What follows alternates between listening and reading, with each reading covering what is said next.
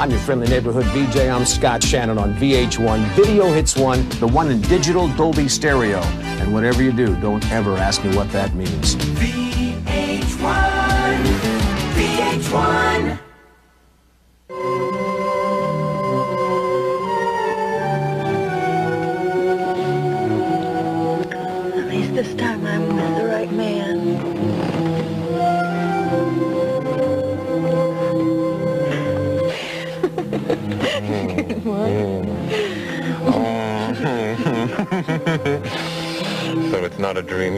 Are here. Mm, I'm here. Yeah. I see. What time is it today? Oh, let's forget about the past. Forget about everything. Let's just exist. Yeah. For the first time in a long time, I just I don't mind the idea of existing anymore. I thought you were going to be so mad at me, but I couldn't help it. I just had to see you once more before the wedding. yeah. How did you manage? How did you manage to get away from him? I'm in London.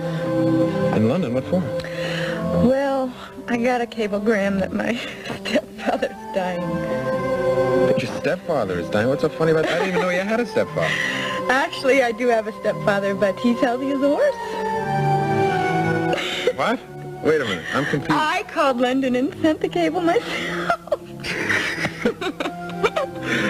Oh, Raven, you're incredible. I knew that to go to London, I'd have to go through New York. No, I don't know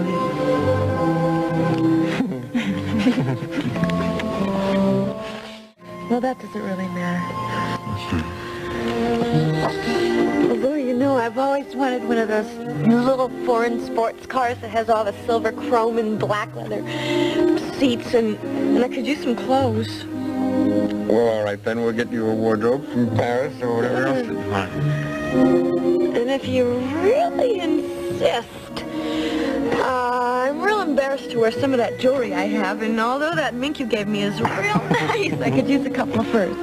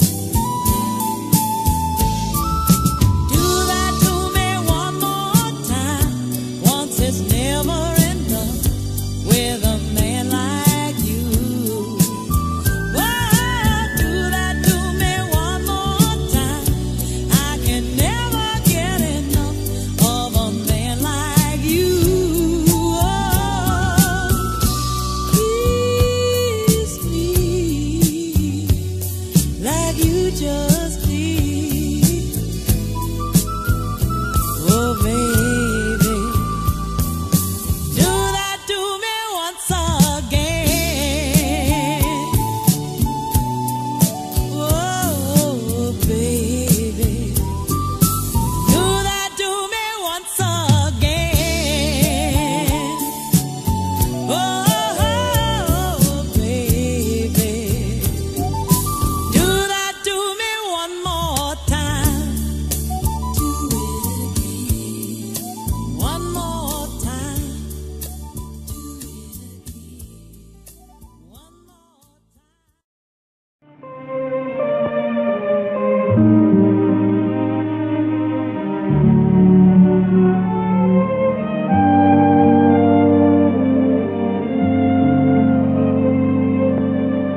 unusual man.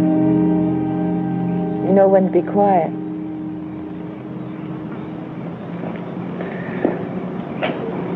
Maybe it's because I don't have anything to say. I get this feeling that, um, that you're trying to play me. I don't know what gave you that impression. But I've had the wrong impression about you. I had you sized up as rich, beautiful, and spoiled. You're not anything like that. Just married. Yeah, married. No, I haven't forgotten that. What kind of a man is he? Jerry?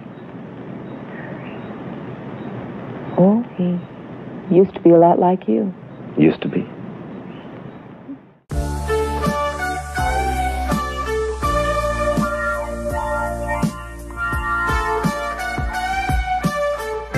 Just like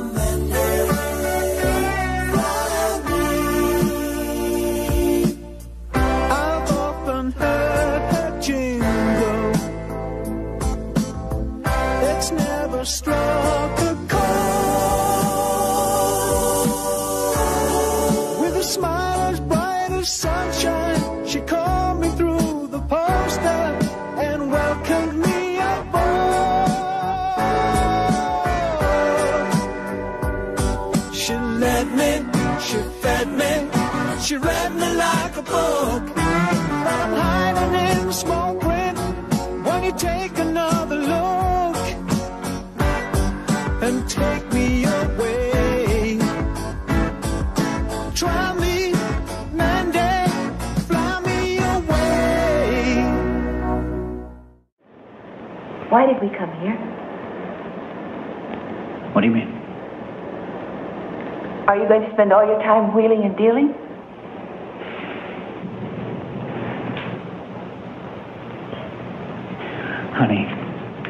I love you. Remember? And I'll help you. The doctor says you've got to help yourself first. You've got to get involved again. You've got to go out and meet the world. Laugh at it and fight it and be a part of it. Jerry, I just don't know. Lena, this project is for us both. I mean, I was just a beach bum who married money. Well, I'm not anymore. I want things to be ours, not yours. I want our money and our family.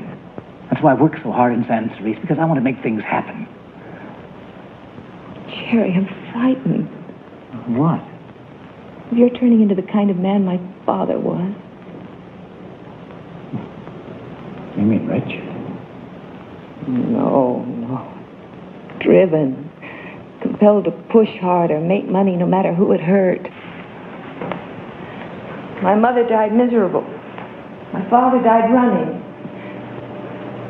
I was running too. Trying to either get away or catch up. I, I don't know which. And then I was at the wheel of a car.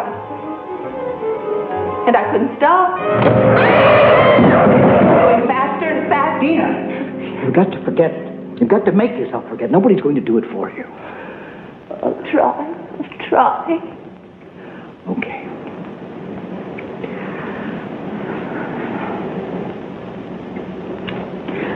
All right. Listen, tomorrow night I'll take his last braces for dinner, okay? Just the two of us, I promise. No talk about work, okay? Okay. The world was spinning like a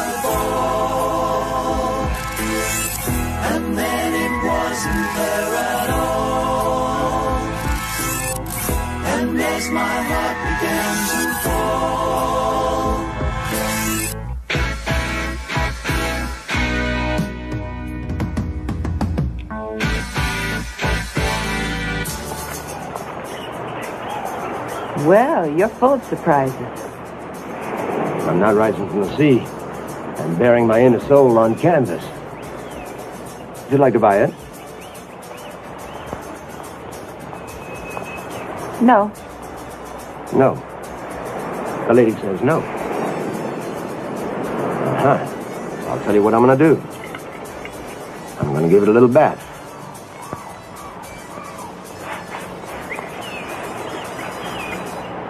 Why did you do that? Why not? I'll never finish it, not now. You're used to cutting people down to size, aren't you? No, I just don't like arrogant men. As bad as arrogant women? Would you pose for me? What kind of pose? Stark naked, dripping in jewels? Seems to me, Mr. Carter, that you're the one who's used to cutting people down to size. I saw her walking on the water as the sharks were coming for me. I felt Mandy pull me up, give me the kiss of life, just like the girl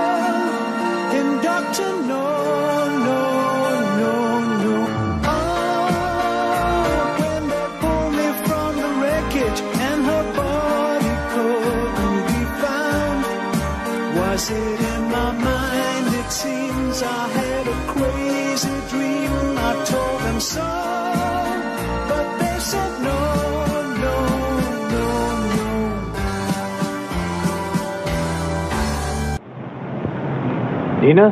Nina, Oh, it's a beautiful day, isn't it, if Joe? I'd known you were going down to the beach, I would have gone with you. Oh, I'm sorry. I thought you were busy. Yeah, well, Em, I've got a meeting, but I would have enjoyed a dip in the bay, but now I'm late. Jerry, haven't you heard? They have fiestas down here. Well, that's a luxury only the natives can afford. Darling, I do believe you're becoming a snob. No, I'm sorry. No siesta now. This meeting might take all day. Okay? All right, you have your meeting, but don't forget our dinner date tonight. Yeah, I meant to talk to you about that. Uh, You promised. I know I also promised to finalize the San Cerise project. That means working on with George tonight. He's leaving town. Well, I'm sorry. I mean, if I... I know. But this is supposed to be a vacation. I wanted us to spend it together. I know. Well, if you just let me get this out of the way... I need you now, Jerry. Not tomorrow or the day after, now. Okay, I'll see you in a couple of hours.